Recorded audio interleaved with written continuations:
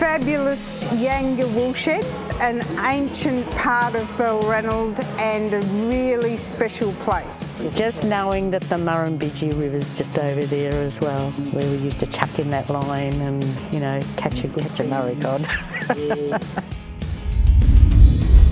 I did the project because I like using rusty stuff from the tip and it inspired me because I love to find new things. Had a bit of a laugh with mum. Stressful at times. Yeah, it was fun.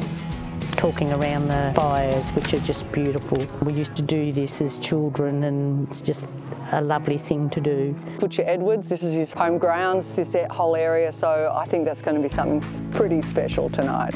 Kutcha Edwards, who Uncle is, Kutcha. uh, Uncle Kutcha, who is family. With COVID and everything, we've missed out on a lot, and it's just great to see him.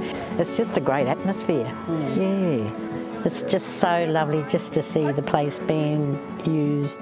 He has shifted the perception of a large number of people just slightly by having Indigenous people explain their stories, white people gain better understanding.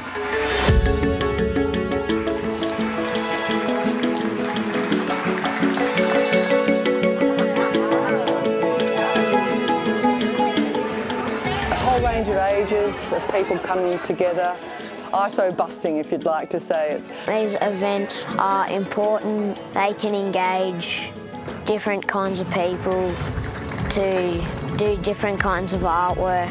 I like seeing the project done, listening to the music and sitting down with my family. It's a different way of people getting together and talking and sharing an experience. It can be any part of that extraordinarily broad spectrum that means the arts or culture or creativity. Tonight it's music.